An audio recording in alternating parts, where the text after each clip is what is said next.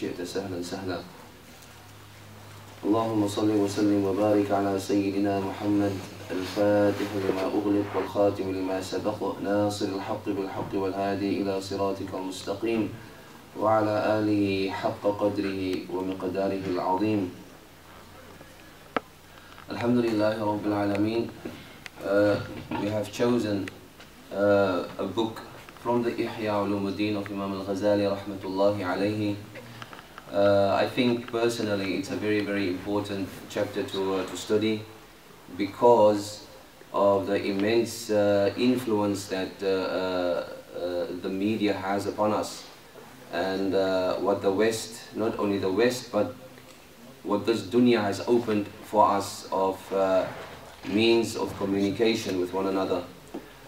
we have to remember that our Prophet ﷺ was a man of very few words. Very few words, but rather he was a man of action. He was a man of action. And uh, even though there are many recorded ahadith of Rasulullah these words is nothing in comparison to the amount of words if one were to accumulate. The words of an ordinary person from the age of 40 upward till he dies at the age of 63. The amount of words that we let out, that we speak, that we say, it's, it's much, much, much more than that of the hadith of Rasulullah Mankind was initially not created to converse with the tongue, even though, even though the tongue is a means to take somebody to higher degrees through the dhikrullah, uh, through saying La ilaha illallah, perhaps could take somebody from kufr into Islam. Or perhaps it can, take somebody from Islam into kufr. But mankind, his uh, mode of conversation was spiritual. When Allah subhanahu wa ta'ala created Sayyidina Adam alayhi salam, even though Allah subhanahu wa ta'ala says in the Quran, وَعَلَّمَ آدَمَ الْأَسْمَاءَ كُلَّهَا Allah subhanahu wa ta'ala told Adam alayhi salam all the names and all the words. It was all spiritual. It was all spiritual. The conversation that Allah subhanahu wa ta'ala has with His servants. I'm talking here about the angels and I'm talking here about uh, the Anbiya it's not a it's not a word, it's not a tongue conversation. The conversation is rather spiritual. So when Sayyidina Adam alayhi salam came to the earth, his speech was more spiritual. Right? Even ourselves, when we sit in front of one another, 90% of our of our words is unspoken. There's body language. There's facial expression. There's the tone of the voice. And all of these things are saying things before you are letting out your verbs and your pronouns and your, and your nouns. Okay? Before you say something already, there's a meaning that resonates from you, that, that, that, that transcends or trans, that you transmit from yourself to somebody else. Okay, so the more spiritual somebody is, sometimes you can feel, you can feel the spirituality of somebody just by sitting in his company. And that is the type of conversation that we, that we are, that we are in dire need of, is that, that hal, it speaks to one another.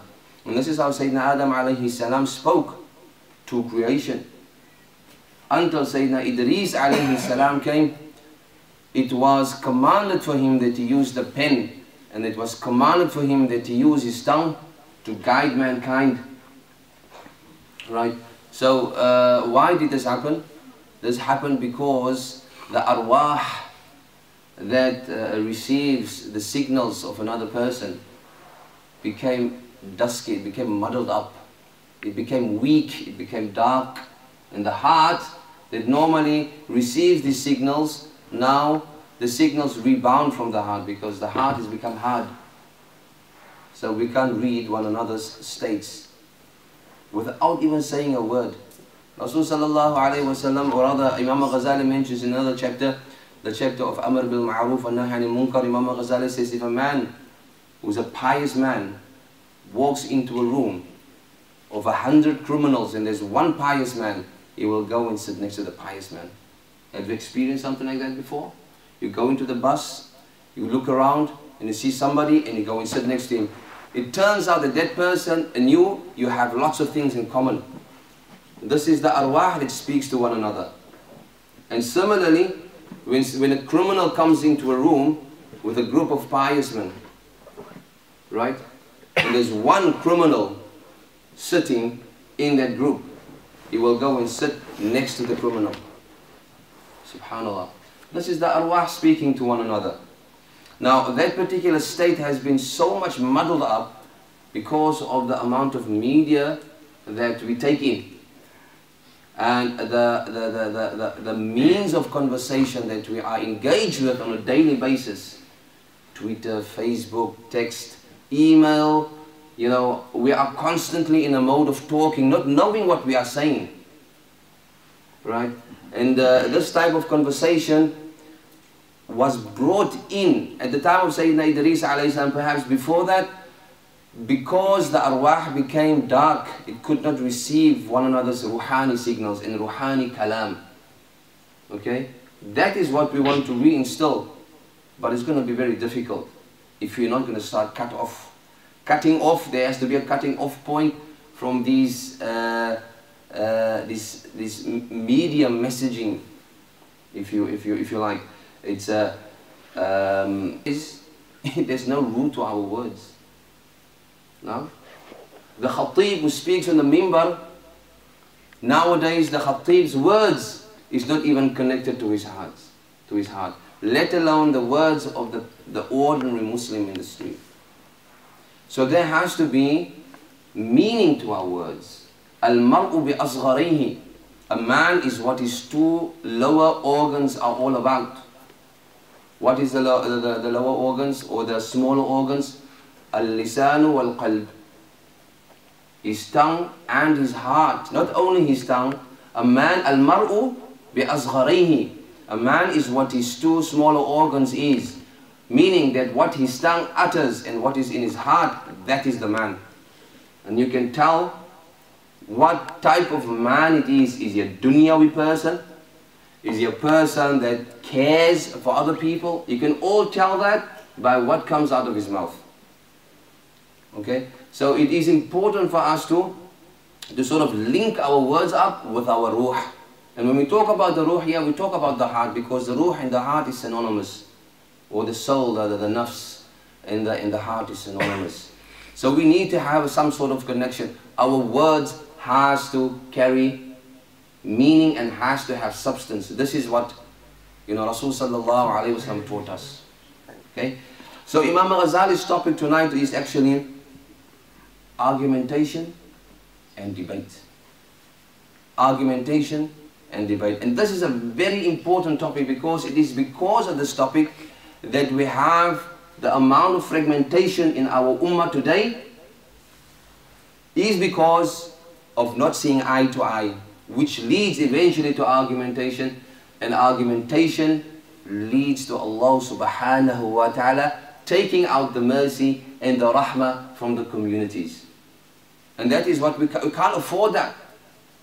We can't afford Allah subhanahu wa ta'ala to turn his back on us. We are in such a very weak uh, state, even though even though we are still chosen by Allah subhanahu wa ta'ala, all of these calamities and all of these trials and tribulations that we are seeing, all of that is a rahmah from Allah subhanahu wa ta'ala for this ummah. The ummah of Muhammad sallallahu alayhi wasallam, don't ever forget this, is a chosen ummah. It is the chosen ummah by Allah subhanahu wa ta'ala. We have to believe that. Don't let we turn our backs on ourselves and our deen and our prophet and on Allah subhanahu wa ta'ala. Allah subhanahu wa ta'ala has chosen us because He loves us. Right? So these calamities that come, that, that befalls upon us, it all stems from weak communication. And weak communication leads to argumentation. And argumentation, Rasul sallallahu alayhi wa sallam said, ما ضل قوم بعد بعد الهدى إلا أوتوا الجدل. There's no community and there's no people that has been given guidance and then guidance has been taken away from them and they went astray except the reason for that was that they started arguing amongst one another. Subhanallah, they started arguing amongst one another. Remember the hadith of Sayyidina Abu Hurairah radiallahu ta'ala anhu in Sunan Abu Dawud, Imam, Imam Abu Dawud as-Sijistani relates this hadith of Sayyidina Abu Hurairah. People used to argue about about where about the the, uh, the night of Laylatul Qadr. And because of the argumentation, Allah subhanahu wa ta'ala took it away and left it uh, for us to find. Okay? And similar uh, calamities will, will come upon us just because of argumentation. And the previous nations, the reason why they went astray was also because of argumentations. Allah subhanahu wa ta'ala mentions many a times in the Quran, uh, وَمَا تَفَرَّقُوا um, Allah subhanahu wa ta'ala has given ilm to the Ahlul Kitab نعم إلا من بعد ما آتاهم العلم Allah subhanahu wa ta'ala keeps on repeating in the Quran that these two, these two nations, they are both a Jewish nation, right? The ones we know is the Christians, the others are the Jews. But they actually uh, uh, uh separated from one another because of an argumentation about Jesus, about Muhammad, sallallahu alayhi wa alayhi wa sallam. Now, so they, they went astray after Allah subhanahu has given them knowledge. And the knowledge according to the Mufassirun is that Allah subhanahu wa ta'ala gave them knowledge about Rasul sallallahu alayhi And this is where the argumentation starts. Some of them said, well, he's our prophet. And the Jews said, no, he's our prophet. He's sent to us. He's coming to us. And the, the, the Christians said, no, he's coming to us. And eventually, we had two major fractions of the Abrahamic religion major fractions because of an argumentation. And this is after Allah subhanahu wa ta'ala has given them knowledge. Now the same year, the Muslims, they have the ilm, they have the knowledge. Allah subhanahu wa ta'ala has given them the Quran. But still, they have separated. Okay? It happened before with the Jews and the Christians. So this particular topic is extremely important. And Imam Ghazali gives us a, what Imam Ghazali does normally is he gives us steps on how to how to control our tongue when it comes to argumentation and when it comes to debate. And Imam Ghazali's way of, uh, of explaining these things is uh, by telling us how the Salafus Salihin used to behave with one another. Now we have, you know, the greatest of the greatest of mentors to teach us not only in word but they lived it they lived this particular life of how to uh, um, when they when they differ from uh, with one another they, they, they had a sense of compromise for example Imam al-Shafi'i rahimahullah wa radiyallahu ta'ala anhu he differed with Sufyan al-Thawri radiallahu ta'ala anhu, another sahibul madhab who had a madhab of his own, and Imam al-Shafi had a madhab of his own. And both of them, they were giants and, and, and mountains of knowledge. Okay? The two came together to argue, not to argue, but to debate a mas'ala. The mas'ala was, is the skin or the hide of a, of a sheep, a dead sheep, a dead animal, an edible animal that is, Okay?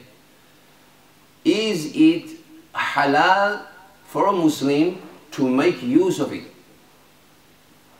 Imam al-Shafi had the opinion that it's not halal. And Imam Abu Imam uh, Sufyan al-Thawri, his opinion was, it is halal, it is permissible, you can make use of it. And both of them had their opinions. based on dalil. They went into the room and they had a discussion, they had a debate, weighing the evidence, the strength of the evidence, checking the, the asanid, and checking the means of extrapolation from the hadith. The outcome was that Imam al-Shafi'i ended up taking the opinion of Imam Sufyan al-Thawri and al-Thawri took the opinion of Imam al-Shafi'i. Not only did these people speak, but when it came to putting things to practice, they were people of amal, of action. Not only that, but Imam Abu, uh, Imam, uh, uh, Imam Abu Hanifa, rahmatullahi alayhi, this is what he said. One day people called him and said, you know, Ya Imam al-A'zam, we've got an issue. We've got two Imams here. They are about to lead for us now. Okay, it's a Jama'ah in the masjid in Kufa. They've got two Imams. The, one of them has a bid'ah. They believe in something. Was a Mu'tazili. Believed in that, that Allah subhanahu wa ta'ala's kalam is created. And Ahlul Sunnah wal Jama'ah, we don't say that. So that is a bid'ah. And uh, the other one, he was of Ahlul Sunnah wal Jama'ah. He agreed that Allah subhanahu wa ta'ala's kalam, Allah's divine speech is uncreated. So the people said, well, mashallah, you know, but the two had a debate just before Imam Abu Hanifa came in. This is why they called him. So the question was, they said, Ya Imam al-A'zam, who do we stand, who do we follow? These two are both Imams, who do we follow? Imam Abu Hanifa, what was his answer? He said, you can't follow any one of them. You got a shock. There's a Sunni and there's a Mubtadi'. Okay? He said you can't follow any one of them. Yeah, they said, uh, explain, you know, understand this person, this person is, is committing a bid'ah, we can't follow him. But what about him? He said, he also is a mubtadi' because he argues in matters of the deen. He argues in matters of the deen. And arguing in matters of the deen is a bid'ah. Is a bid'ah. So what, what message does Imam Abu Hanifa gives us now at the moment? He tells us that refrain from arguing at all costs, especially in matters of the deen. The opposite of what, about what, what Muslims are doing today. Muslims today, their, their, their, their favorite topics is to argue about the big masail in the deen without any knowledge. That's very dangerous. Very dangerous. And this particular argumentation that we see going on between us, it's all because of Jahl. As a matter of fact, Jahl is still uh, a, a, a lean, too much of a lenient word. It's worse than that. We have Jahl Murakkab. Jahl Murakkab is when a person thinks he knows but he does not know. That's even worse. A person who is Jahil who's ignorant is a person who submits to the fact that he has ignorance of a topic, so he's going to refrain from that subject.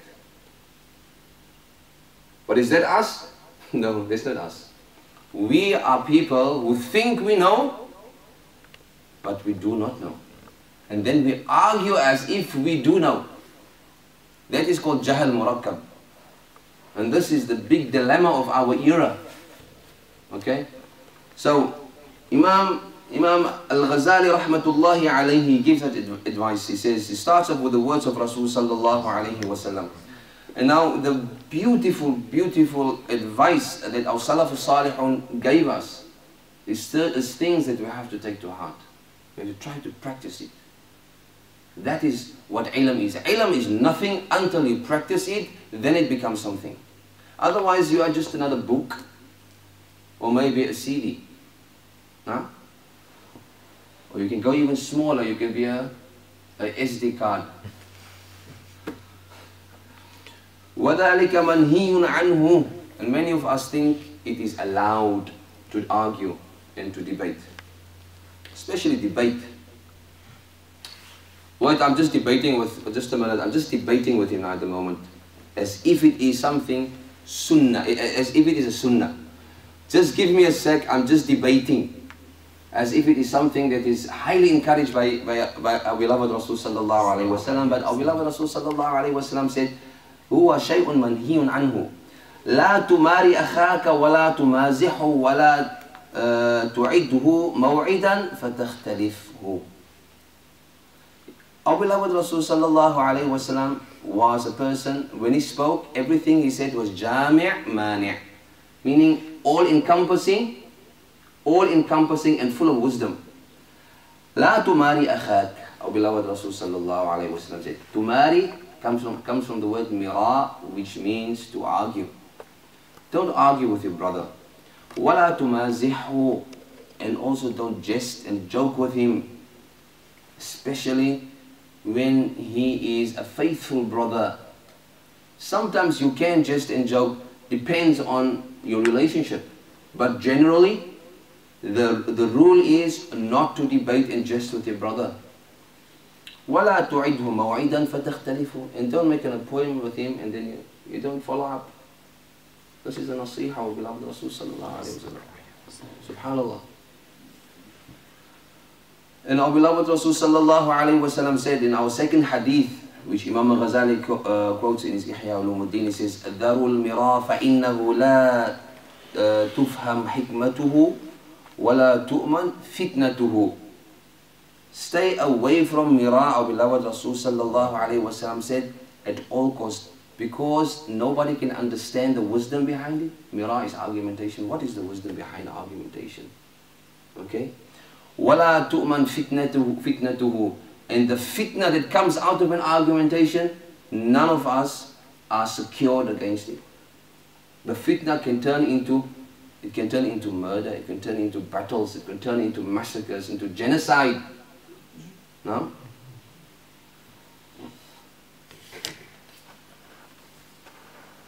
Rasul sallallahu alayhi wa sallam said, Man taraka al-mira' وهو محق بنى بنى بني له بيت في أعلى الجنة ومن ترك المراء وهو مبطل بنى له بيت في ربط الجنة سبحان الله Also a hadith of our beloved Rasul sallallahu alayhi wa sallam uh, about the merit of staying away out of, uh, staying away from argumentations. Whosoever refrains from debating and arguing, and he and he is right, is not wrong, is right, and it is his right to voice his opinion, but he refrains from it. Allah subhanahu wa ta'ala builds for that mu'min a house in the highest part of Jannah. No? Now we know the, Jannah Allah subhanahu wa ta'ala created it in seven tabaqat. Seven tabaqat, seven levels. The highest of it is Jannatul Firdaus. The Jannah that our beloved Rasul sallallahu alayhi wa sallam saw. And the reason for that is because it brings unity if you refrain from following up an argument. It, it, it, it, it, it brings unity between brothers. And Allah subhanahu wa ta'ala, by Allah subhanahu wa ta'ala, unity, brotherhood, ulfa, mahabba, love and affection for your brother is one of the greatest forms of ibadah. One of the greatest forms of ibadah. Just to love a brother.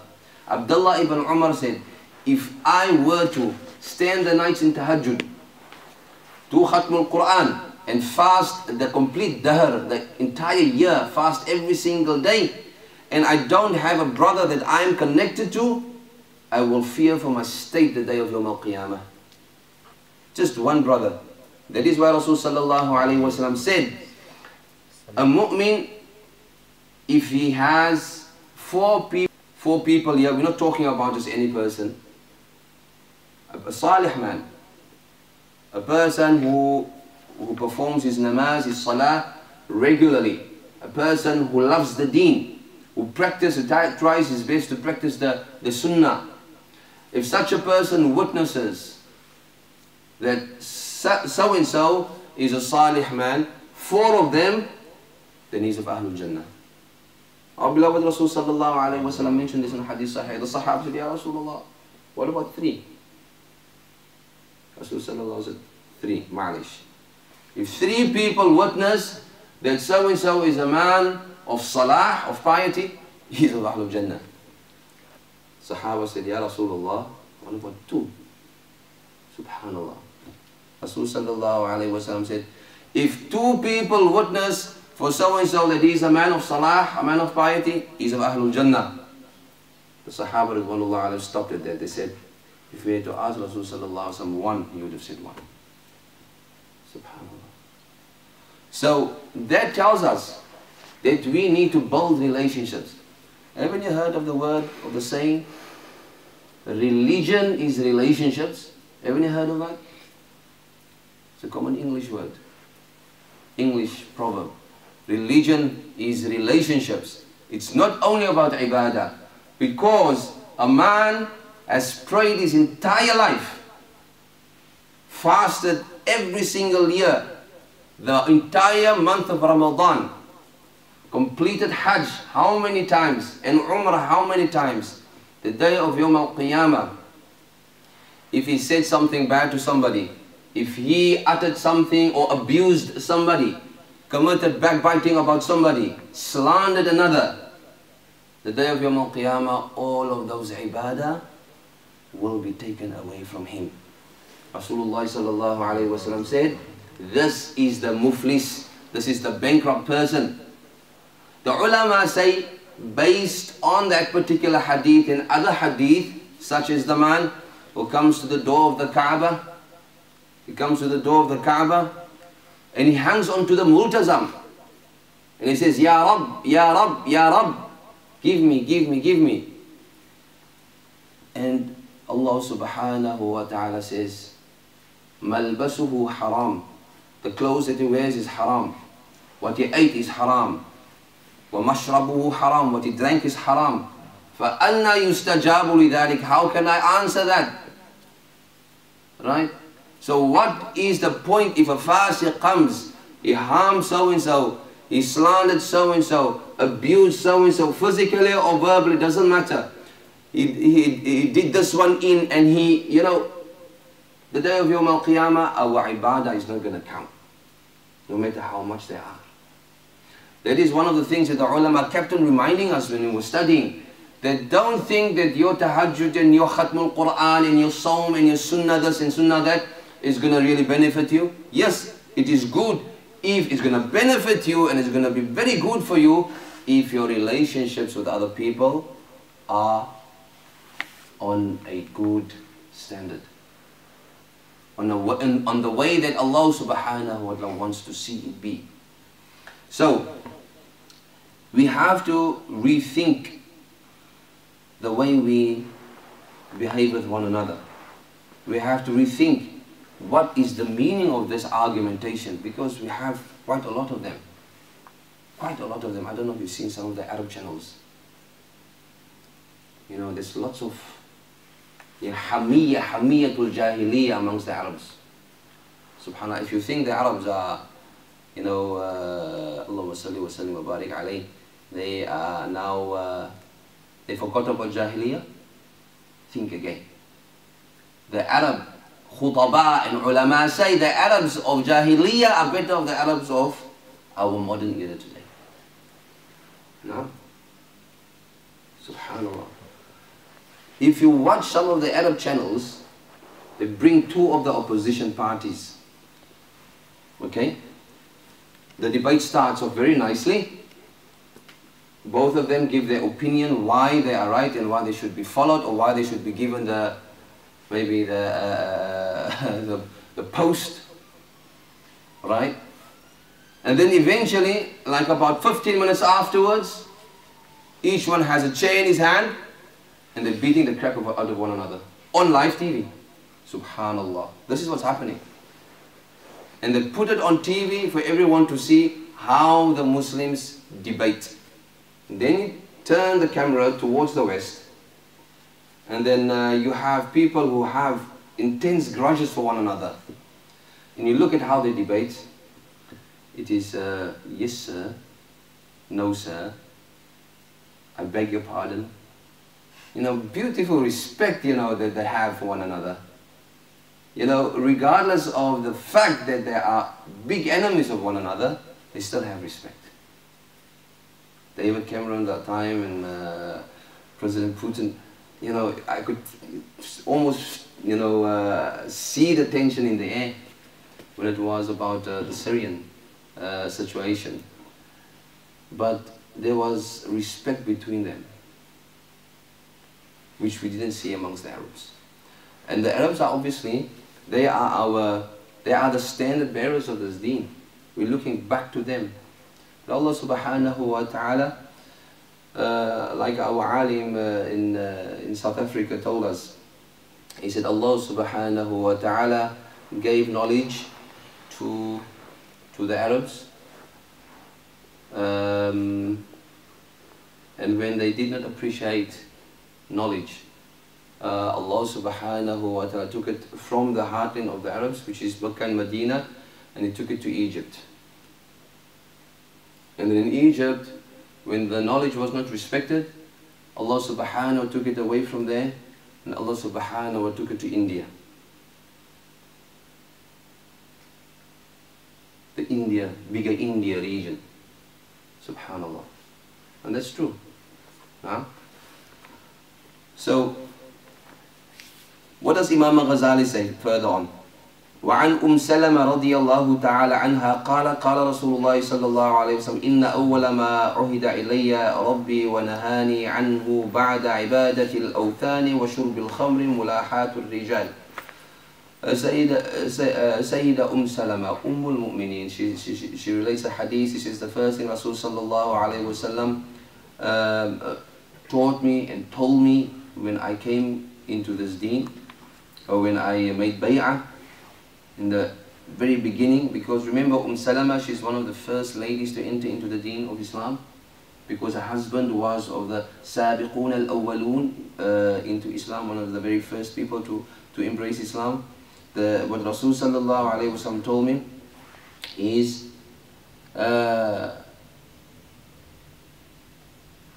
uh, is not to worship idols number one. Stay away from drinking wine Third one, don't argue with your husband. Don't argue with your husband. No. وقال أيضا ما ضل قوم بعد أن هداهم الله إلا أوتوا الجدل. We mentioned this particular hadith. People never went astray, uh, astray after Allah subhanahu wa ta'ala has given them guidance except that it was because of argumentation. لا يستكمل عبد حقيقة الإيمان حتى يدع المراء وإن كان محقا A person's iman is not complete, Rasul sallallahu alayhi wasallam said, his iman is not firm and complete until he leaves off argumentation even though he's right. Even though he's right.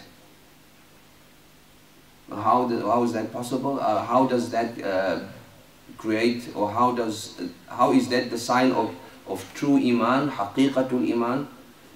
Because the person when he sees an argument, uh, somebody arguing with him or somebody telling him something that he's not pleased with, he sees Allah subhanahu wa ta'ala in action. This is how the awliya, uh, Ridwanullah alayhim, used to see uh, mankind. If somebody comes to you and tells you off, what's the natural state of a man? He's going to get infuriated, he's going to defend himself, and he's going to fight back. But the state of the people of Allah subhanahu wa ta'ala, they see this coming from Allah subhanahu wa ta'ala. This is Al-Ghazali gives us, uh, he relates that Abdullah ibn Zubair used to say, لا تجادل الناس بالقرآن فإنك لا تستطيعهم ولكن عليك بالسنة Abdullah ibn Zubair gave us very, very, very good advice here. You know, especially for us Muslims today.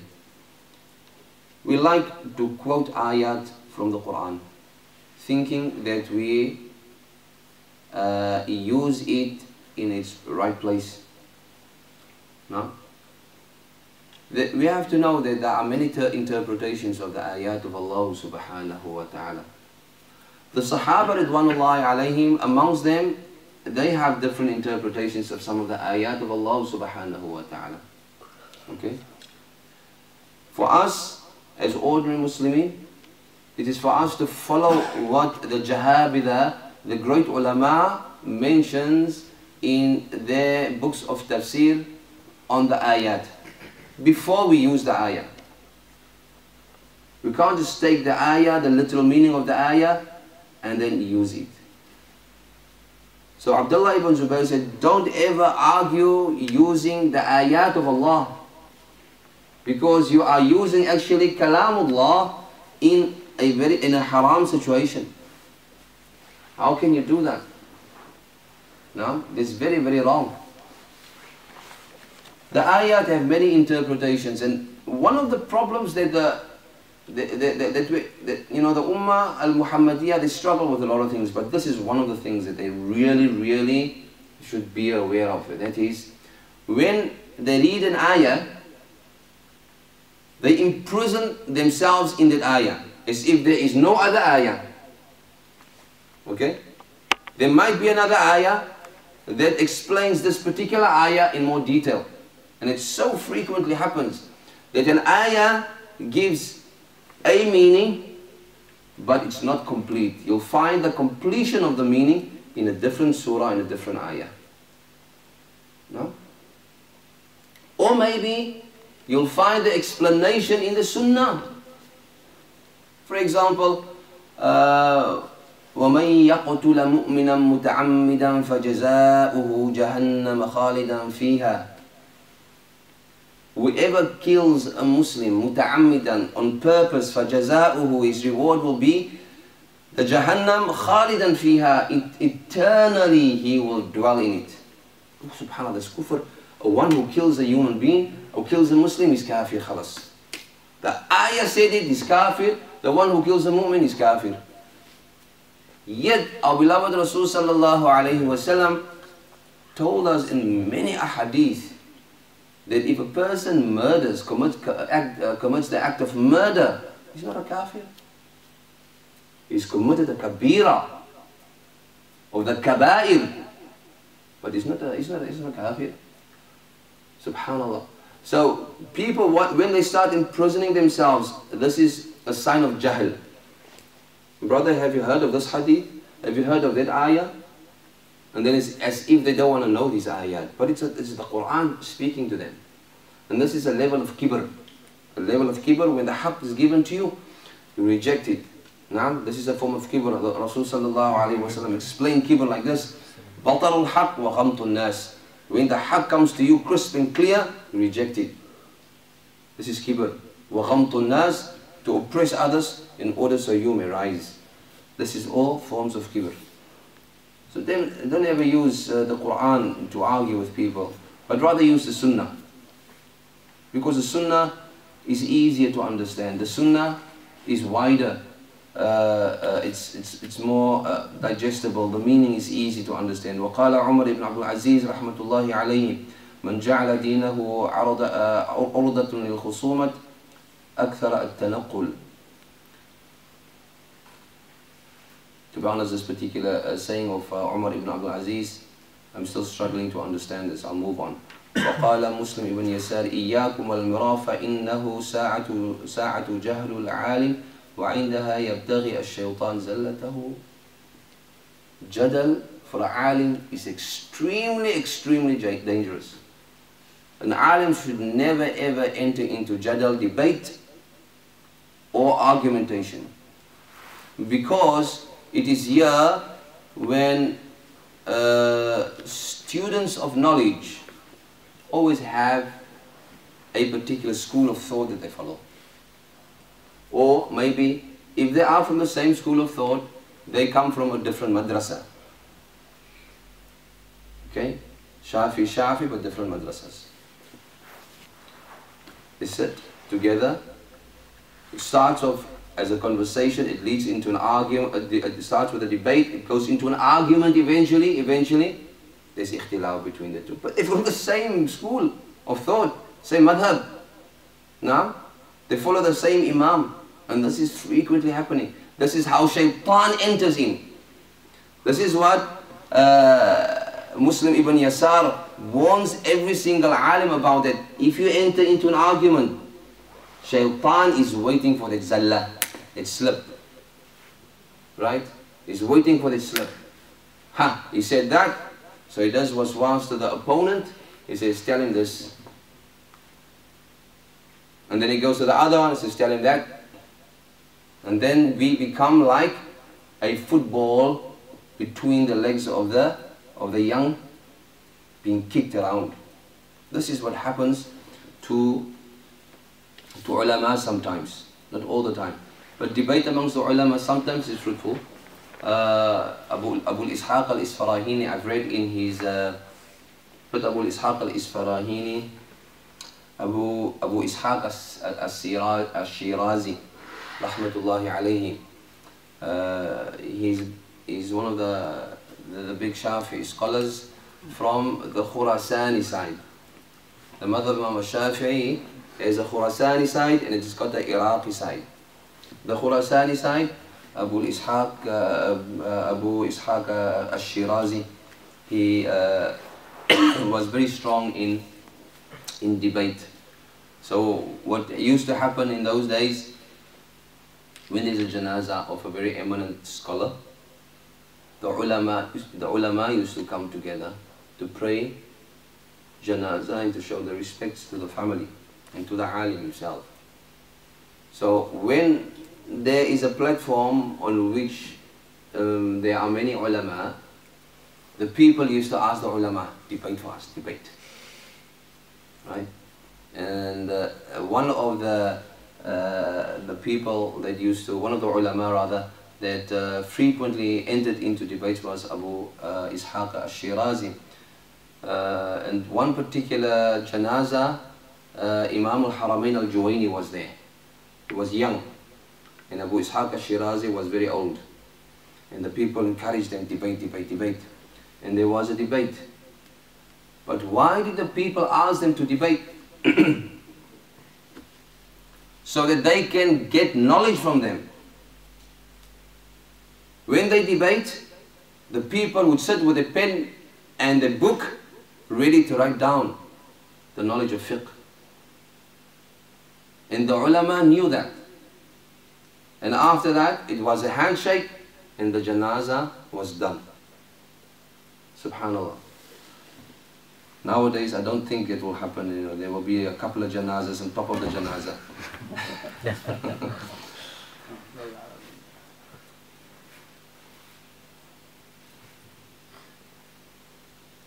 and also, قال, uh, he also said, uh, um, sorry, this is Anas ibn Malik radiallahu ta'ala anhu. he said, Al-mirai yuqsi al-qulub wa yurithu al-daga'in. If you argue, it hardens the heart and it creates enemies. You create for yourself enemies, so stay away from argumentation. And this is what's happening amongst the, uh, the Ummah al-Muhammadiyah. One, they are one Ummah, follow one, one Nabi. They have, uh, they worship one Allah. And still the Jordanians have something against that. The, the Saudis and the Saudis have something against the Kuwaitis and the Kuwaitis have something against the Saudis. And it just goes on and on and on. Allah Ta'ala straighten us out with, with, uh, with not so uh, hard stick, but a gentle, gentle lesson, inshallah ta'ala.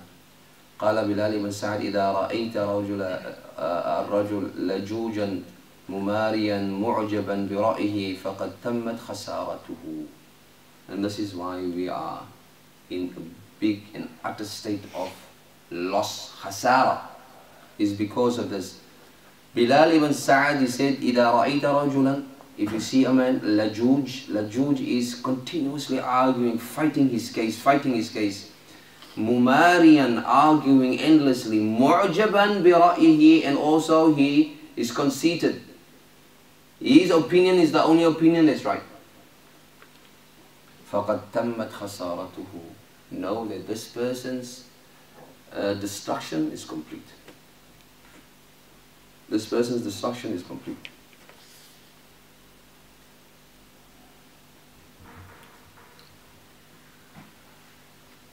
Sufyan al-Thawri said, صَافْ مَنْ شِئْتَ ثُمَّ أَغْضِبْهُ بِالْمِرَاءِ Make friends with whoever you want. And if you want to be, if you want to break the friendship, well, sometimes you know, uh, you know, sometimes you have a friendship that you want to just stop. This is guy is just a nuisance now. Start arguing with him. That is what Sufyan al-Thawri said. Start arguing with him. And then you'll see the guy will stay away. So there are many, many more sayings that are really, really important for us to go through, but we'll stop there and then we'll go quickly to the definition of mira, and this is very important.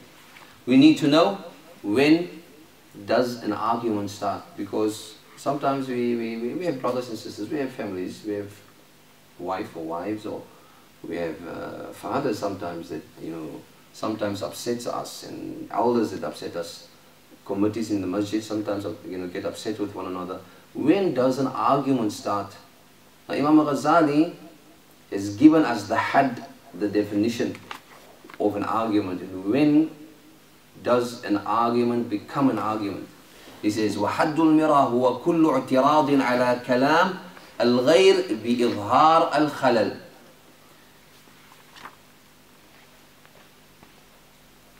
He says, it is every counter argument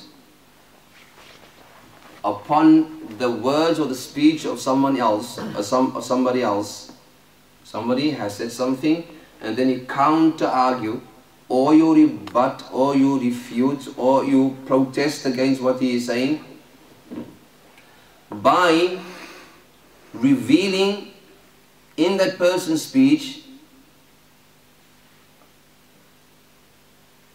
either you reveal in that person's speech mistakes, either verbal mistakes, okay, verbal mistakes, or you, you, you, you say, you know, is either used words incorrectly. This is how an argument starts. Don't say it like this, say it like that. وَإِمَّا فِي الْمَعْنَى Or in the meaning of the person's words وَإِمَّا فِي قَصْدَ الْمُتَكَلِّمِ or in the intention of the person who spoke to you. So there are three things. When somebody says something and it comes across to you incorrectly, and we want to rectify, that's the beginning of an argument. Okay? That's less when somebody says something, the meaning comes across in a particular way. You understand from what he or she said a meaning and you want to refute that meaning. This is when an argument starts. Or somebody says something, the words are perfect, the meaning is perfect, but you look at the intention of the person, why they have said that. Now all three stages or all three uh, instances, if one were to just do what Rasul sallallahu alayhi did and that is taghaful. Naam? Kathratu taghaful. This was the state of Rasul sallallahu alayhi. He used to ignore many of the things said, many of the meanings that came across wrong. He used to ignore them. And also the intentions Rasul sallallahu alayhi wasallam never ever touched them with a stick. A man's intentions is his own thing. Right? So when somebody says something to us, think about those three uh, uh, instances. If a word comes across to you and the person has said the words in, you know, rearrange these words in such a way that it sounds very awful, you come and say, well, you know, brother, no, or sister, no, you know, what you have said doesn't make sense. Just leave it. If you know what they meant, then just leave it. Or the meaning came across as a, uh, a meaning that is there to, uh, to incite hatred or maybe uh, jealousy or whatever, ignore it. The easiest way to stop people from annoying you or harm you or hurt you is to ignore them completely. And that is what Allah subhanahu wa ta'ala, you know, this is nasiha of Allah subhanahu wa ta'ala to our, our beloved Rasul sallallahu alayhi wa ala alihi wa sahbihi wa sallam. نعم فاصدع بما تؤمر وأعرض عن المشركين Hold firm on to what Allah has commanded you to do and to preach. وَأَعْرِضْ and just ignore what the mushrikun are saying. And what did they say? They said many hurtful things to Rasulullah but he just ignored. No? Because Allah subhanahu wa ta'ala says after that, Inna kafaynaka mustahzin, mustahzin. We will take care of the people who make istihza to you, O Muhammad sallallahu alayhi wa sallam. Now, so these are the three things that we need to be aware of. Imam Ghazali says it beautifully. He says, uh, don't look at the person's words, the way they order their words. Don't take the meaning serious. Don't look at the intention of the person. And these are obviously when one has got gotten the uh, a negative vibe from the person. But if something is positive and it's uh, beautiful, you know, uh, we, we, we, we accept everything that's beautiful and good from another person. And uh, we leave it all there. Tarkul mira, and to refrain from mira is to refrain from inkar, from opposing that person's uh, words or the meaning or the intention. فكل كلام سمعته فإن كان حقا فاصدق به وإن كان باطلا أو كذبا ولم يكن متعلقا بأمور الدين فاسكت عنه. Imam Ghazali tells gives us beautiful advice. Beautiful advice. He says,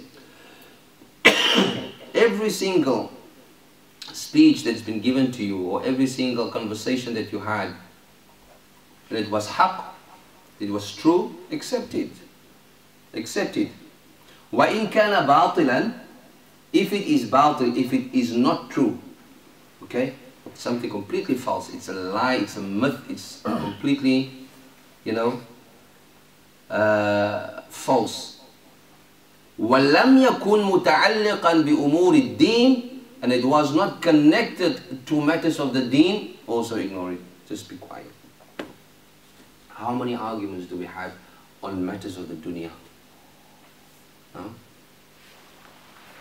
Okay. Young men have big arguments over which car is the fastest on the track. Big arguments, it's not matters of the deen. Okay? Then you get, you know, elders having arguments on matters of Allahu Alam, it's all dunya things. And it just turns the whole conversation in the environment and uh, in the majlis into complete, you know, war zone. Why? Okay? So, it is important that we try to uh, implement these things. Any dunya we argue, خلاص معلش. You know, Rasul sallallahu alayhi wa sallam كان يتغافل عن يعني عن عن أغلب الكلام. One of the uh, um, you know the the, uh, the character of Rasul sallallahu alayhi wa sallam is even Sayyid Nas mentions in his Nur al-Uyun. Rasul sallallahu alayhi used to just ignore so many things. So many things. And I think we will stop here inshallah ta'ala about the topic of argumentation. Uh, and perhaps next week, inshallah ta'ala, we will finish it off and uh, box that particular chapter off. There is another chapter that Imam Ghazali will enter in, inshallah ta'ala. Hopefully, we can add that one on to, to, to our next encounter, and that is khusuma. Khusuma. Now, just a brief introduction to khusuma. Khusuma is also a type of argumentation, but it is in contractual matters contractual matters. For example, inheritance. For example, custody of the kids. An argumentation, but a different kind of argumentation. There's an agreement between two people. They can't come to a, contractual agreement, they start arguing. For example, insurance, claims, for example, uh, you know, business uh, transactions, okay, and following through with, with uh, the conditions and so on. Many, many, many argumentations and many, many disputes, we call them disputes, amongst people on contractual matters. Inshallah, we'll leave that topic. Inshallah, for next time we meet, I think I've said uh, enough about argumentation. Uh, the, the had, the definition of argumentation, this is the most important thing that we need to take home today. Okay? It is upon us to make change so that the society can change. Individually. If you listen to the ayah of Allah subhanahu wa ta'ala in the Quran, إن الله لا يغير بقوم حتى يغير ما بأنفسهم Look at the ayah. Allah does not change a community. A community does not change until the individuals in that community change. So if we want change in uh, the bigger community, where does it start? It starts with me and you. No? It starts with me and you. So people then will speak a language without uttering a word and others will learn from them. So that is our uh, sincere contribution in the line of da'wah. Is the akhlaq of Rasulullah sallallahu alayhi wa in our homes and from our homes into the community. And the community will be a transformed community if we do it sincerely, if we do it correctly. Now, but how can we if we don't have the knowledge? And this is why we have these lessons. This is why we try to repeat the words of Imam Ghazali, who have changed or which have changed so many communities over the thousands of years, or thousands of years, the thou hundreds of years that has passed. As a matter of fact, a thousand years has passed since the demise of Imam Ghazali. He died in 500 years after Hijrah, and today we are well into the thousand after, the millennium after that, uh, demise of the great, great Ali. We ask Allah subhanahu wa ta'ala in whose hands lies all tawfiq, to grant each and every one of us tawfiq, to guide us on the straight path. We ask Allah subhanahu wa ta'ala to make uh, us uh, uh, the, the, the, true standard bearers and followers of Rasul sallallahu alayhi wa sallam, to incorporate his, uh, his life into our, in our living rooms, into our bedrooms, into our kitchens, into our societies. There's nothing more that we want except to be like him. We ask Allah subhanahu wa ta'ala to ease the path unto uh, uh, emulating Rasul sallallahu sallam. Walhamdulillahi rabbil.